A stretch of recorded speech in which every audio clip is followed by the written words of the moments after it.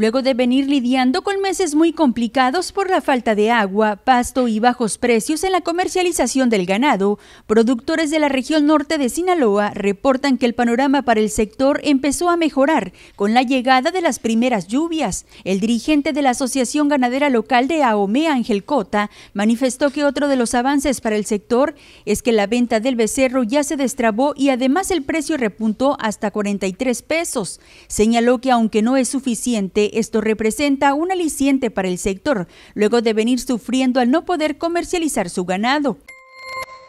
La verdad que pues sí, ahorita andamos ahorita aprovechando las la zafra de las trías, o sea, ahorita el ganado, pues gracias a Dios, tiene que comer. Y de igual manera, pues el, el becerro, pues de perdida ya lo compran, ya lo reciben, y ha tenido dos, dos repuntes de, un peso, dos pesos. Y, y ahorita anda entre los 44 42, 43 pesos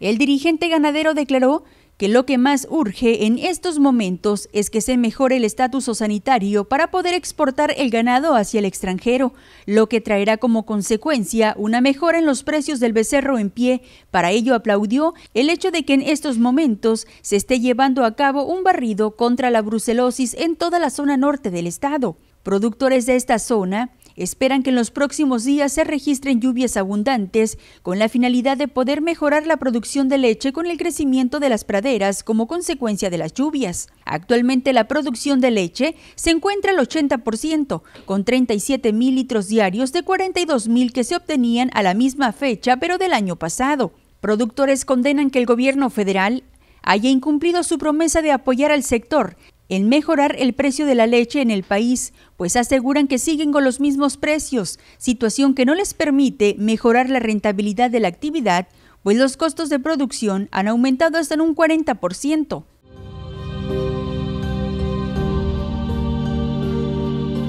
Carla Beltrán, Mega Noticias,